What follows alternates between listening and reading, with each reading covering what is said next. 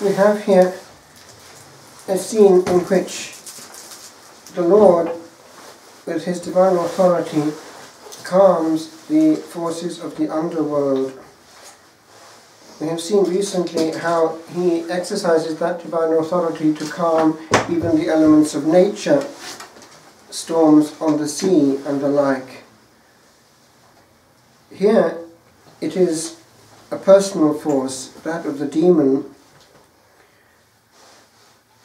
We know that where demons move, there is unpeace, unrest, uncalm, and people who are in that mode, without knowing it, reflect who they are imitating and whose company is familiar to them. People who, by nature, emit much noise are creating around themselves a whole cloud, a black cloud often, of heaviness. For noise creates heaviness.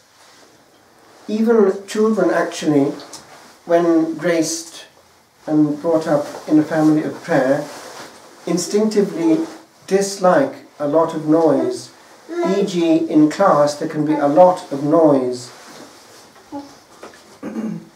I once heard a friend of mine, a priest who comes here, Father Michael Marr, quote a confrere of his, probably now long dead.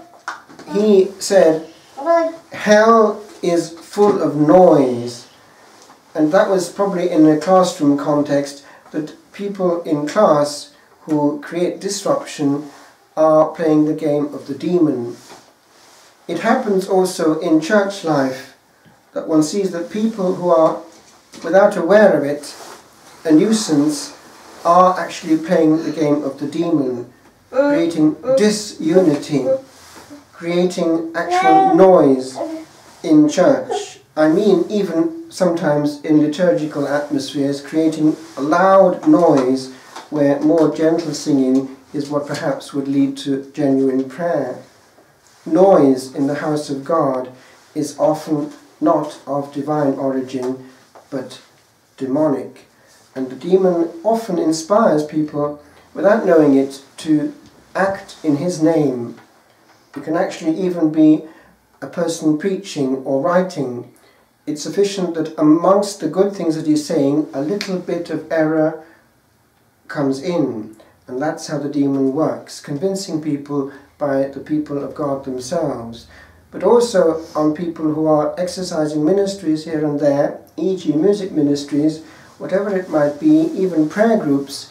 There can be people who are noisy, cumbersome, clumsy, and nuisances, and the demon makes use of them to wreck the peace of a prayer group or an assembly.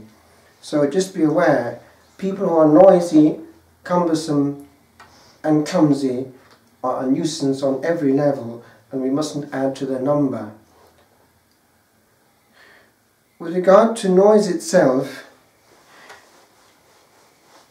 when one is living the monastic life and brought up in it, one sees the difference between the cloister and the absence of protection from noise. Once one is outside the front door and involved in anything, whether it be a supermarket or even actually a bus by now, one has noise pumped at one. And one observes the comportment of people around, even from an early age, they are in noisy mode. If they can't find someone to talk to, they have their ears full of noise from a machine to which they are plugged. Even jogging along, one sees it, they are plugged into noise. Therefore, all quietness is excluded from morning until night. And we can also, if you're not careful, be playing the same game. It's so easy to actually put on noise. It's there just at the opening of a key. I would want, however, to comment on one specific point. It's this. There is also, on a deeper level, a problem with regard to noise. It actually lowers the quality of perception. Much noise takes away delicacy of perception.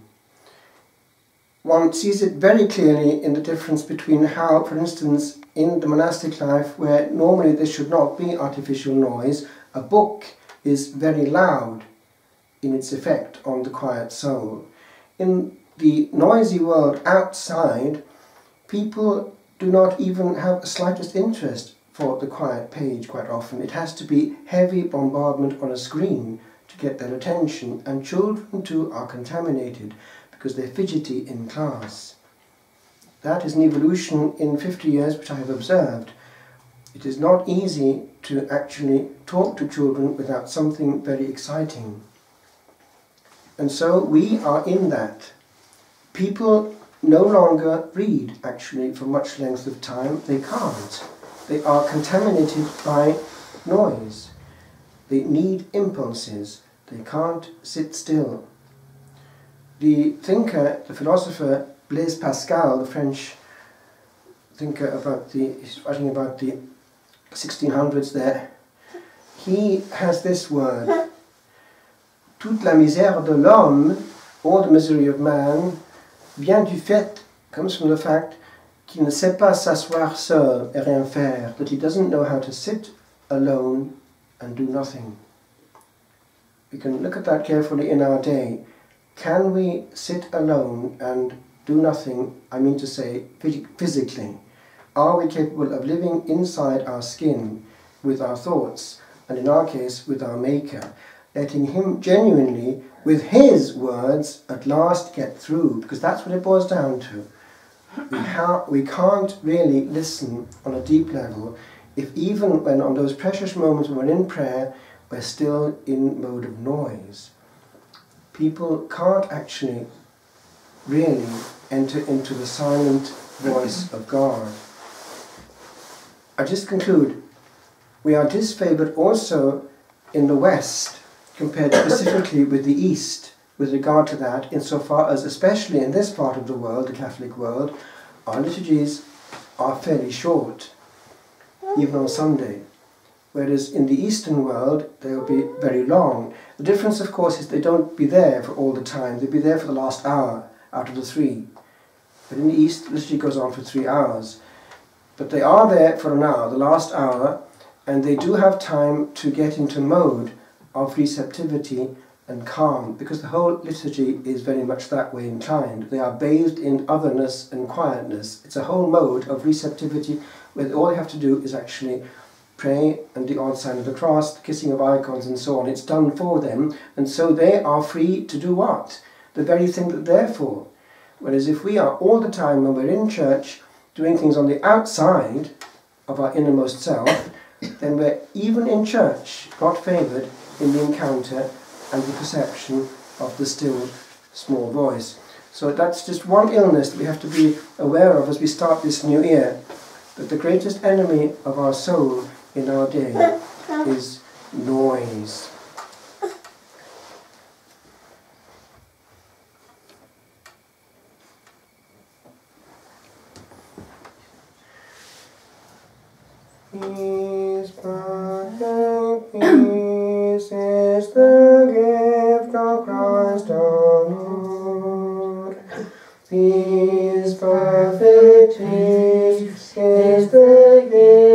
gift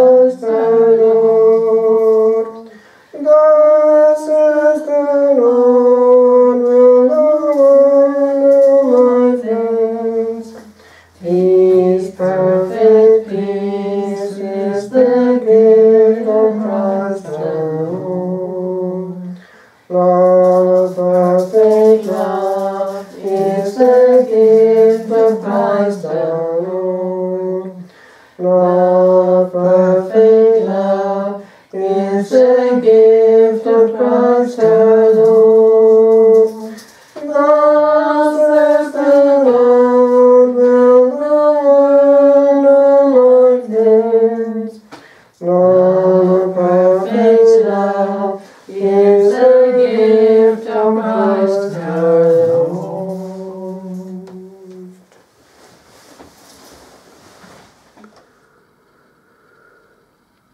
Noise. There are too many words upon the air that carries currents all.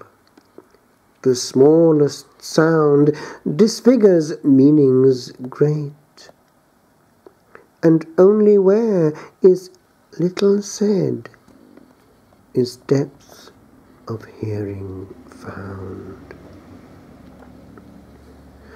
I have known moments where a silence great heard many things. For where clings soul to soul, the matter that here matters carries weight. When in a word unsaid was heard the whole. And I have heard a sermon of much length that heard was not, for that it would not end.